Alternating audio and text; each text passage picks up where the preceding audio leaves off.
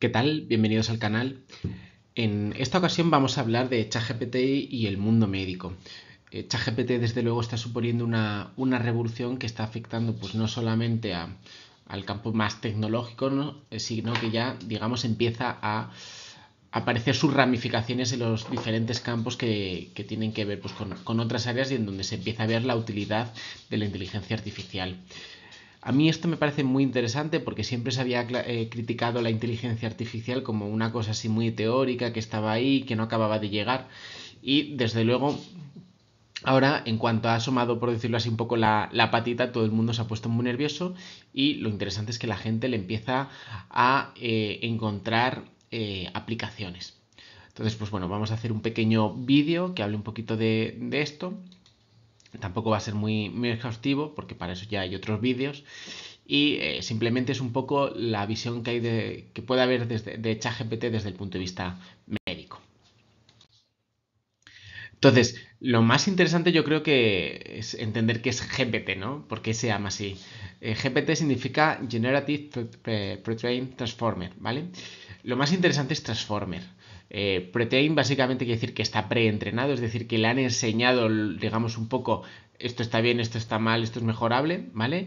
Y eh, Generative, pues lo que quiere decir es que genera, ¿no? Entonces, es un transformer, que ese es el, verdadero, por decirlo así, algoritmo, es lo, que, es lo que hay debajo de, estos modelos de lenguaje, preentrenado, esto quiere decir que es un, tipo de eh, algoritmo que se diría supervisado, en el que digamos le vamos enseñando, y que es capaz de generar, ¿vale?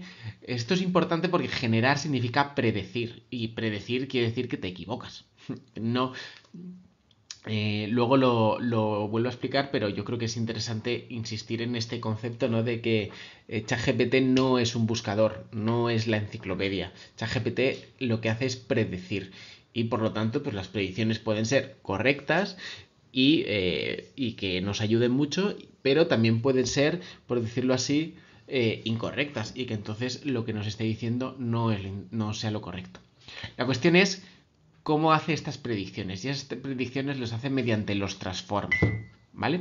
Eh, los transformers básicamente es en la T. Entonces, el transformer básicamente es una, es una arquitectura que tiene el propio algoritmo, ¿vale? Y se basa en una cosa que yo creo que publicaron los de, los de Google, yo creo que fueron Google, eh, que lo llamaron que, eh, que parecía una canción de los Beatles, ¿no? All you need is, attention. Básicamente lo que es un algoritmo que lo que permite es prestar, por decirlo así, atención a los detalles de tal manera que pueda, de alguna manera, como entender el texto y lo que se le está preguntando, ¿no? Es una arquitectura que, bueno, esta es la, imagen de la, arquitectura, ¿no? Eh, pues una matriz de, embedding como que es de, embedir, es como embeber todo en conjunto. Este es el Transformer Block, ¿vale? Entonces aquí lo que vemos es que habla de la, de la atención, van añadiendo capas tienen encoders y decoders, ¿no?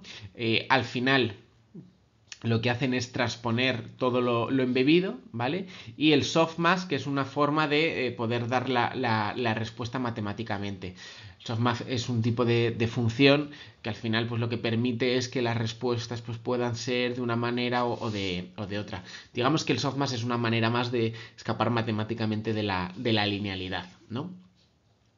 Entonces, básicamente nosotros lo que tenemos es un input que aplicamos una serie de procesos sobre una arquitectura ya predefinida, que es el transformer, sobre lo que luego aplicamos un procedimiento de, salida y al final nosotros lo que tenemos es el output.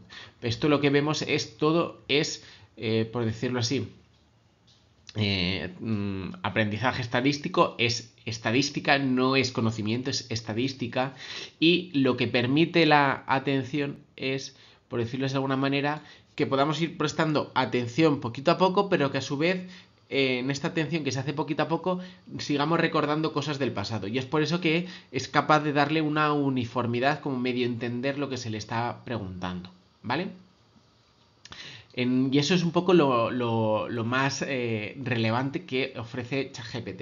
De tal manera que permite entrenar textos de una manera que antes no se podía hacer. Y esa es la tecnología de ChatGPT, el Transformer. El Transformer aplicado al lenguaje natural. Bien, entonces una vez que hemos entendido esto, pues yo creo que eh, lo que es interesante es un poco la cantidad de usos que le podemos estar dando y que seguramente vayan a más conforme eh, pues seamos capaces de pensar nuevas maneras de utilizar esto, ¿no? Em, lo típico, dar información eh, más o menos detallada o esquematizada, ¿no?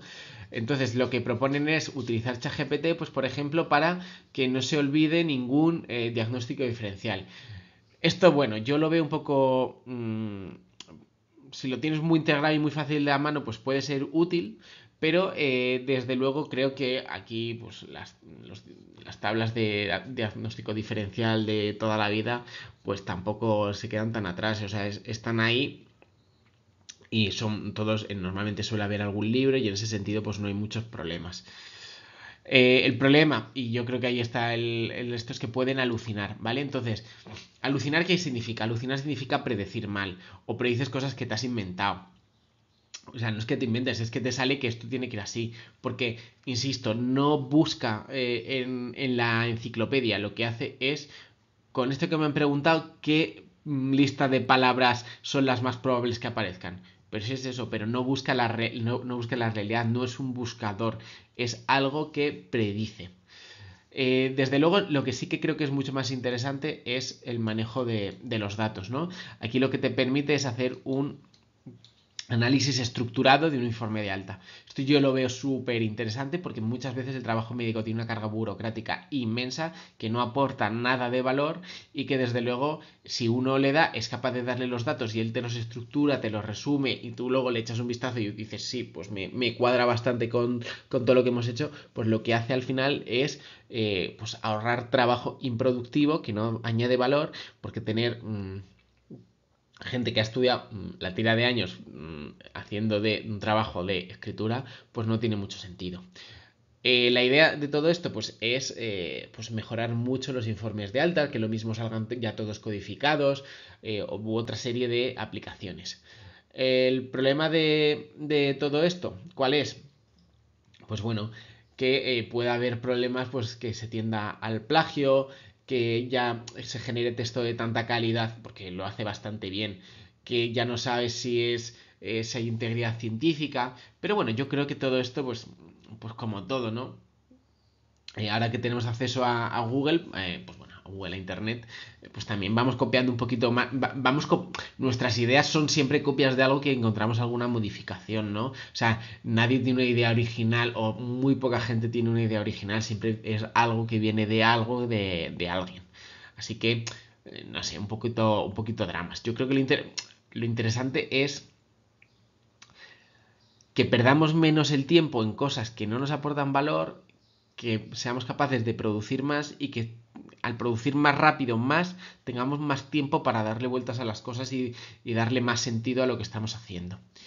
Me parece bastante interesante esto, no hace falta que lo apliquemos los médicos, ¿no? Que es el aumento de la comunicación. Pues hay veces que los pacientes no se enteran muy bien y pueden preguntarle y decirle, GPT, explícame esto como si tuviese 5 eh, años, ¿no? El famoso ELI5. Eh, pues eso yo creo que está muy, muy bien. Problema, pues como todo puede tener unos, sesgos y siempre en temas médicos generalmente la respuesta de ChatGPT es acaba preguntando a tu médico, ¿no? Entonces, pues bueno, es un argumento un poco circular, pero que yo creo que en algunos casos pues puede ser útil. Veo también muy útil la educación médica, porque eh, de alguna manera eh, nosotros lo que hacemos es o sea, ChatGPT lo que te permite es eh, como ser como un niño pequeño de nuevo y preguntar, ¿y esto por qué? ¿Y esto por qué? Y te lo responde. El problema es que te lo predice mm, con errores, pero digamos que es, una forma más natural de, aprender, como cuando éramos niños pequeños. Eh, no es como ahora el buscador, que tú ahora tienes que buscar, tienes que buscar el párrafo, este párrafo no me ha gustado, no sé qué, no sé cuántos. Entonces, en ese sentido, yo creo que es una manera más natural de aprender. Claro, esto se tiene que perfeccionar y lo que, si esto lo están haciendo ahora, pues imaginémonos lo que pueden hacer en 5 o 10 años. Yo creo que desde luego va a cambiar mucho la forma en la que, la que estudiamos. Y eh, ya por último, pues la escritura de, eh, comunicaciones científicas, yo encuentro muy interesante lo de eh, hacer traducciones súper buenas, lo encuentro súper interesante. Pues porque hay gente que pues, no sabe tanto inglés y le da cosa y de, y de repente pues coges, lo mandas y te lo deja perfecto. Además le puedes dar eso con el prompt adecuado, es decir, con la manera que tú le pides a ChatGPT las cosas, te lo deja mm, casi perfecto. Y puedes publicar en revistas japonesas, o sea, sin tener ni idea de japonés, tradúcemelo a japonés. Y tú, pues vale, pues venga, pues ahí estamos, ¿no? Entonces, yo creo que eso está muy bien, pero claro, siempre, pues claro, todo tiene que tener una pega, ¿no? La automatización de las, de las profesiones de la salud. Bueno, ya, ya veremos en qué se acaba todo esto. Este tema mm, genera mucha controversia, ¿no? Y a mí me gusta mucho como se lo escuché a una persona, ¿no? Que hablaba de los, de los eh, tecno-optimistas y de los tecnocenizos, es decir, los que son muy optimistas con la tecnología, donde yo me encuadro más. Creo que si miramos la historia, básicamente es abrazar la tecnología en sus diferentes maneras. Eh, fue tecnología el que creó la primera pala, fue tecnología el que creó la rueda, fue tecnología el que creó el, el que mm, vio cómo se hacía el fuego, fue tecnología el que inventó el bronce, mm, fue el, todo eso nos ha, ido hecho, nos ha hecho mejorar. Y luego están los tecnocenizos, ¿no? Que en todo ven un problema. Pues bueno, hay gente que en el fondo es mm, como súper progresista, pero a la vez súper conservadora, ¿no?